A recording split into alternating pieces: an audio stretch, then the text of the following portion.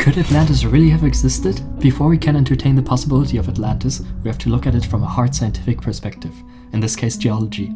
Are there any phenomena that we know of that could cause the rapid submersion of a large landmass? Imagine this, there's a really heavy ice mass covering large surfaces of the planet.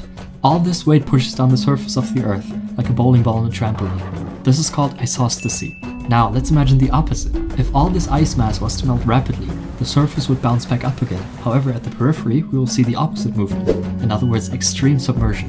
Did you know that the entire North American continent north of New York was covered under ice between 15,000 and 20,000 years ago? You guessed it, significant chunks of it are thought to have melted rapidly. Most significantly, at the so-called meltwater pulse 1b. This would have caused extreme submersion at the periphery, in this case the Mid-Atlantic Ridge. So yes, geology indeed provides a possible scenario for the story of Atlantis. And by the way, 11,600 years ago was the date given by Plato for the demise of Atlantis.